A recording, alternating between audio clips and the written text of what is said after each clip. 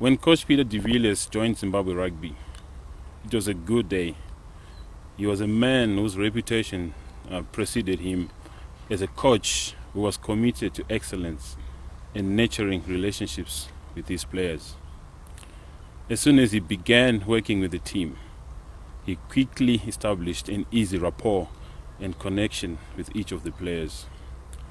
The unfortunate reality is that, in spite of his good intentions and constructive input that he, that he brought to the team, he was forced to deal with a presidium that restricted his ability to be fully impactful.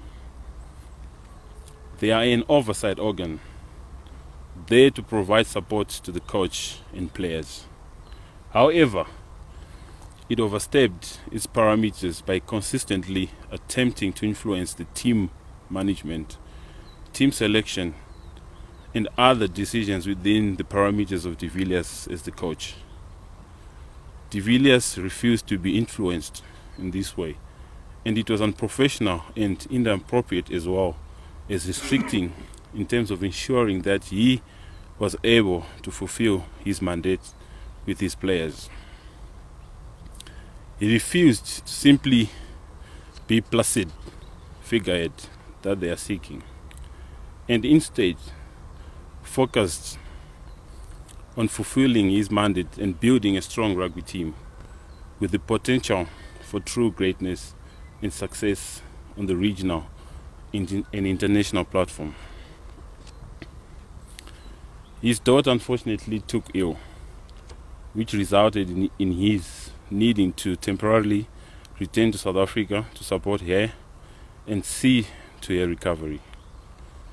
Due to the uncertainty of her illness, he ended up having to stay in South Africa for longer than initially agreed with the Presidium. Based on these unforeseeable circumstances, the Presidium dismissed him from his role as the coach of Zimbabwe Rugby. This was a decision that we believe was unnecessarily uh, punitive and self saving to them.